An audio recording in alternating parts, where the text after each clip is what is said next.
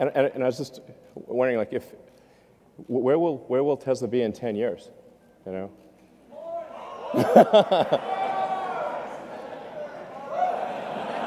Mars. exactly. Uh, we will be driving a Tesla on Mars. I, I, think we could. I think we actually could. Okay. Tesla will be on Mars in 10 years. I think it will. I think it will. So after that uh, extended history, history lesson, uh, what, what about the actual, the actual reason you came? Okay. There's a missing car. it's, it starts with a Y, ends with a Y, and that's Y in the middle. Bring out the Model Y. Oh, wait. Yeah.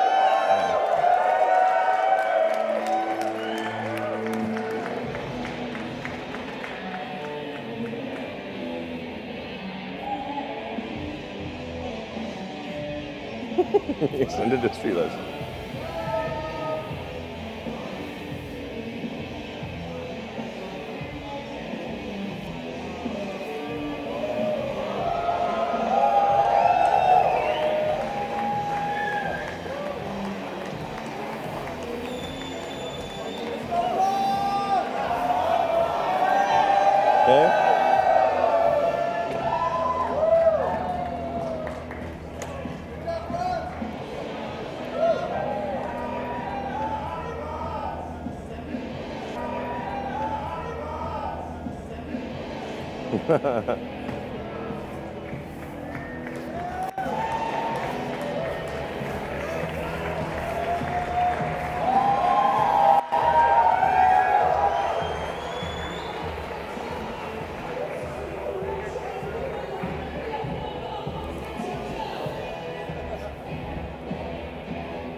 All right.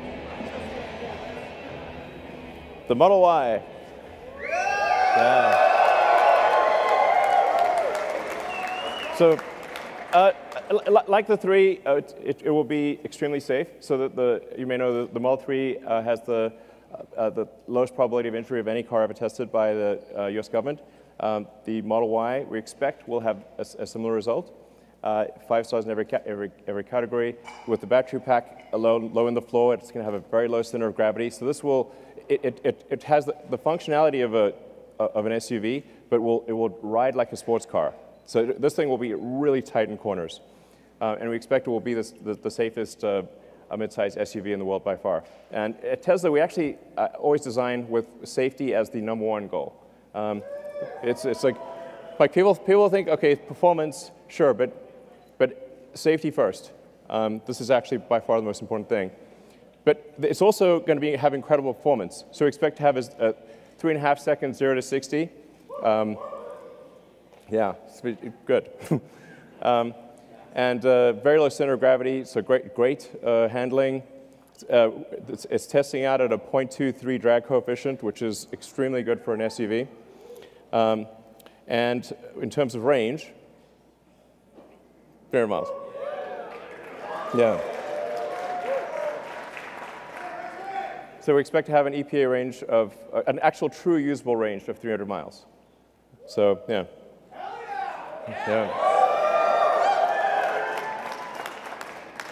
From an, from an interior standpoint, it has a, a panoramic uh, glass roof. And, and, by the way, after, after I'm done here, you guys will be able to come up and like check out the car. So uh, it's like, um, so it's going to have a panoramic glass roof. It like really feels like, just like the Model 3, if you're in the car, it just feels like you're, you can see the sky.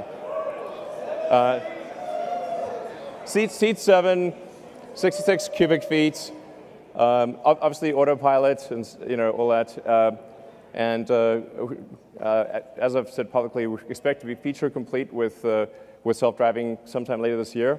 Um, and then uh, as, as we prove out the safety with uh, billions of miles and kilometers, we will, from our standpoint, feel it's like safe enough to not pay attention and then get the regulatory approval sometime thereafter. Um, but the, the, cool thing is feature complete. Like it, will be able to do basically anything um, uh, by the end of this year, um, just with soft, just with software upgrades, which is pretty cool. So, so let's see, Model Y lineup. Okay, there you go. So, yeah. The, the, the, basically long range one we expect to be about $47,000. And then sometime in 2021, we'll have the, the sort of standard version, which will be, have a $39,000 price point. So, yeah.